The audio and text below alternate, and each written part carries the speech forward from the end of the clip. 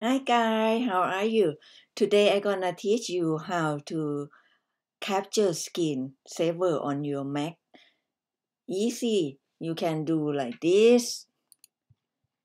Shift, Command, and number 4 on your keyboard.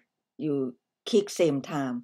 Gonna be cap capture screen for you saver you can capture on your video on your website on your image everything you want.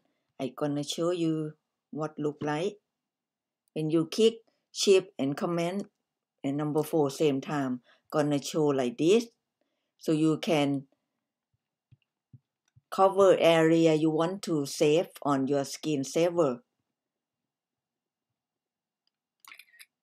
and you will get it image. You want the easy way you can do.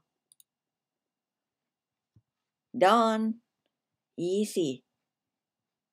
Now you know how to capture screen you just click shift command and number four same time.